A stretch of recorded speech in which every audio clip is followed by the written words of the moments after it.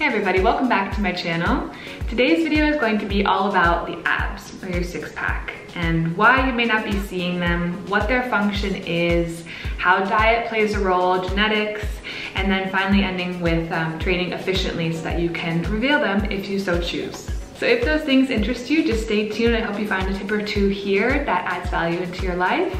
And if you enjoy this video, it always means a lot when you drop a thumbs up and consider subscribing to join our family on here. I have lots of videos like this, health, fitness, yoga, all that good stuff. But for today, we're gonna be focusing on the abs. So let's start by going over the anatomy. So starting with the anatomy of the abdominals, I'll go ahead and insert a picture here. We actually have three distinct layers that comprise the muscles of our core. First, the most internal layer is the TVA, the transverse abdominals. Those muscles wrap around our spine and are responsible for the stability and our, our posture, keeping us upright and strong so that we don't just collapse every time we try to keep the body upright. Next, working our way out, we have the internal obliques, which in conjunction with the third layer, the external obliques, are responsible for a lot of our lateral flexion or rotation of the core. And our third layer, our most superficial layer, we have the external obliques um, and the rectus abdominis, which is responsible for that six pack look that a lot of people think of when they say, when you hear the word um, abdominals. And we wanna make sure we're not favoring any one of these layers because it could lead to things like imbalances or injury later on. And on that side of anatomy, every body has these three layers of abdominal muscles. You may not be able to see them as well as some other people, like some celebrities, but that's just due to a higher overall body fat percentage. And if you were to uh, reduce your body fat to a certain extent, you would be able to see your abdominals without having to train them. They're there. They do provide um, valuable functions for our body and for our movement day to day. Okay, that brings us to the question of why do you want to see your abs? Why did you click on this video? Is it because you think that they are a symbol of health and strength? Is it because you just like the way that they look? Is it because you think that they're going to get you the girl or guy that you like? Um, if any of those are true, are you ready to drastically alter your lifestyle and eating habits and whole social structure to get a six pack? If no, that's great and I would continue focusing on moving your body each day in a way that you enjoy, um, fueling your body with whole foods and just living your life because abs come and go and I don't think that they make you any better of a person. If, however, your answer to that question was yes, you are determined to get your six pack, then there are a few things that you can do, and that's what I'm going to be laying out in the rest of this video. So first, talking a little bit about diet. Um, I am not a doctor nor a dietitian, so there are a few things here that I want to give disclaimers for. If you are a person that is overweight, I would recommend speaking to either a doctor or a dietitian to develop a meal plan that is based on whole foods that you can comfortably sustain for a long period of time that will gradually bring your body weight, your body fat percentage down. The second thing is maybe try experimenting with intermittent fasting that has been tied to increasing insulin sensitivity, which is great for people that are overweight or maybe pre-diabetic, and um, has also been shown to, again, decrease overall body fat percentage. And the third point is on your diet. So what your macronutrient profile looks like. And by that, I mean three macronutrients protein, carbohydrates, and fat, which I don't think is much of a surprise to most people. But what may be a little bit interesting is that each of these macronutrients is processed by the body a little bit differently. So starting first with protein, there's something known as the thermic effect of food, which uh, makes up part of the metabolic equation, TDEE, which I'll get into in a little bit. But our thermic effective food, so what we eat uh, consumes calories just to be processed and assimilated and then used by the body. So starting with protein, protein actually takes about 20 to 30% of its calories just in digestion.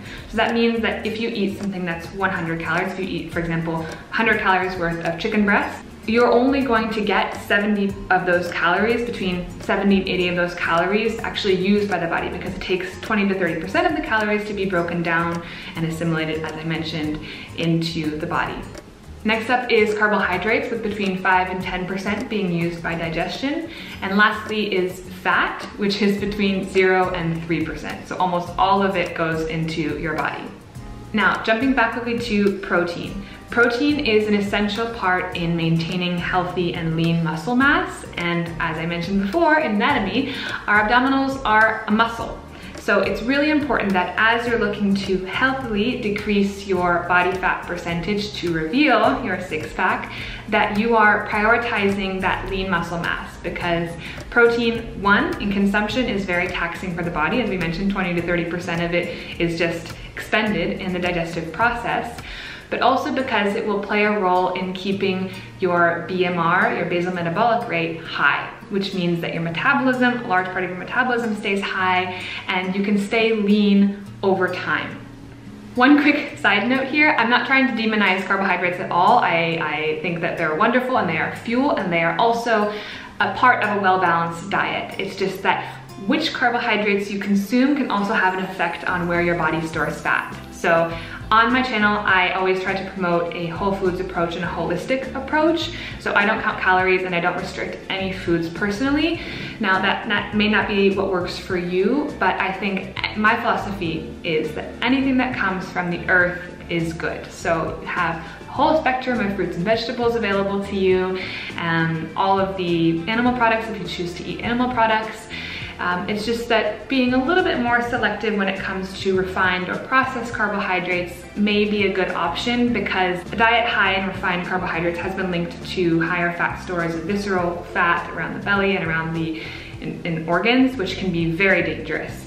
So choosing your carbohydrates from a whole food source is a much better option when you have it. And then saving those refined carbohydrates for a smaller portion of your diet because they may not be the best for your body and they may also uh, make you feel a little bit icky. So that's my last one on diet. Let's get into the next section, which is uh, body recomposition. Okay, this is where body recomposition comes in. And this is very exciting because this is a concept that I think goes against a lot of the traditional myths we hold in the health and fitness space. And I wanna start off by saying that fat does not equal weight. So when you see your number on the scale, doesn't mean that all of that is fat and that if you decrease that number that you're only going to be targeting the fat mass in your body and all of a sudden you'll be much leaner, your six pack will be out. No, no, no, no, no. The body is, is a very complex and, and beautifully intricate machine and there's a lot of nuance to it. So focusing back on body recomposition, this is a concept that says that you can gain lean muscle mass and lose fat at the same time and your body can look the number on the scale may be higher, but your body could look completely different. And this has actually happened to me personally. Um, I started lifting weights consistently about five years ago. I haven't weighed myself in a very long time, um, but I do believe that I'm heavier or about the same weight, but my body looks completely different and I feel stronger, I'm faster, um, I'm, I feel I can eat whatever I want and it's it's a very freeing place to be. So that's another recommendation for you all is please don't worry about the scale. Actually throw it out. It's an antiquated way of of measuring yourself and just getting too caught up on the number. I think that a much better measurement for that is to see your body fat percentage, um, but that's for another video. I just don't think it's, it's worth fixating on the number that you see each morning when you weigh yourself. That's just no bueno for the, for the mental health. So diving into body recomposition, there are a few processes in our body that go on when we're trying to gain lean muscle mass and lose fat at the same time. And one thing I wanna highlight here is the metabolic equation, also known as TDEE, your total daily energy expenditure, which is all of the processes that go into making up your metabolism. What actually goes into you burning what you burn and why do some people have an easy time keeping the weight off, vice versa. So this equation is formed with of four different components. We talked a little bit about one of them, which is TEF, thermic effect of food, and also depending on the macronutrient can be higher or lower. The second of four parts of the TDEE is your BMR, your basal metabolic rate, also known as um, REE, resting energy expenditure, which is all of the calories that your body burns, the energy that your body burns doing nothing. So just what your body needs, the calorie input your body needs to survive. Because there are a lot of processes going on inside of us that require energy um, without us having to do anything, which is very cool. So this is the one that I wanna focus on when we talk about getting our abs, is increasing your BMR so that you're burning more without even having to do anything. I mean, who doesn't wanna do that? Like just to burn more without trying, right? I mean, that sounds wonderful. Uh, hint, it actually has to do with lean muscle mass. The third of the four factors in our TDEE equation is NEAT, which is the non-exercise activity thermogenesis. So this is how many calories or energy that your body uses in non-exercise activities. So, you know, walking to work, mowing the lawn, emptying the grocery bags, all of that stuff that's not deliberate exercise is your NEAT. And lastly, you have your TEA, your thermic um, effect of activity. So what your body burns when you're actually trying to work out. So if you're doing a sport or if you like to weightlift or if you are golfing, you know, whatever it is that you like to practice, that specific time window will be how many calories are burned for your TEA equation. And the last part of this video is what you can do training wise to have the best chance of revealing your six pack. Going off of the idea in the previous point of body recomposition, we want to train in a way that will encourage increase in lean muscle mass while also losing fat so that we can show the definition of the muscles that we are working so hard to gain. So for this, my friends, resistance training will be your new best friend. It doesn't have to necessarily be with weight, but finding a way to incorporate resistance into your training will be key for sculpting those beautiful muscles and revealing your six pack.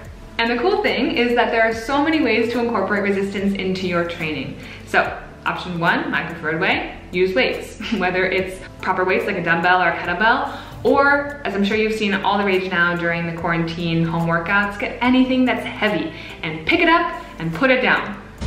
I lift things up and put them down You can also use resistance bands. I have a whole video here on my channel of different exercises that you can do with long lived resistance bands.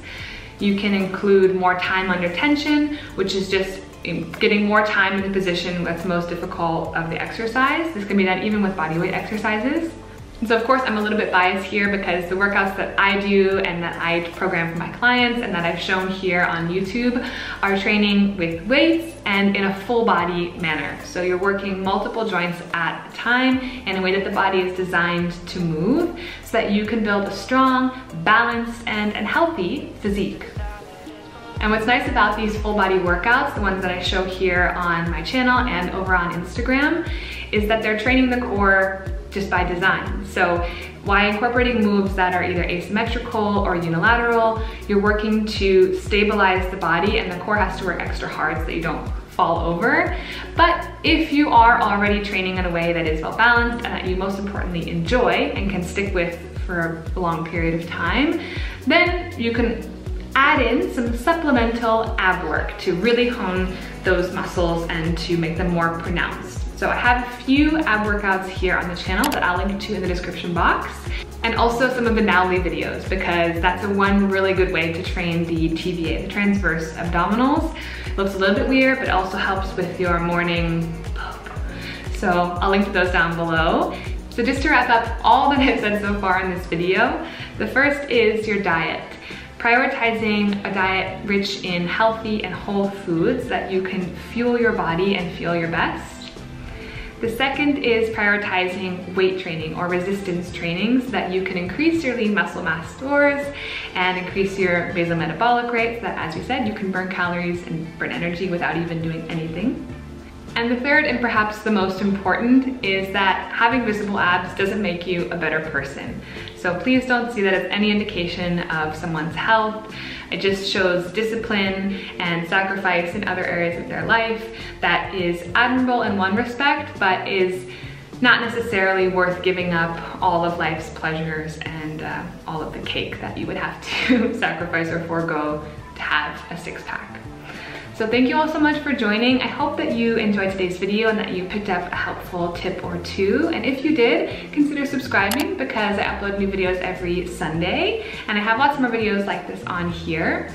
And if this video hits 100 likes, I will make a guided ab slash core workout that you can do to get a little bit more ab training into your already, I'm sure, very well balanced training routine. So with that, I'm wishing you guys a beautiful rest of your day. Take care, and I'll see you all here in my next video. Ciao.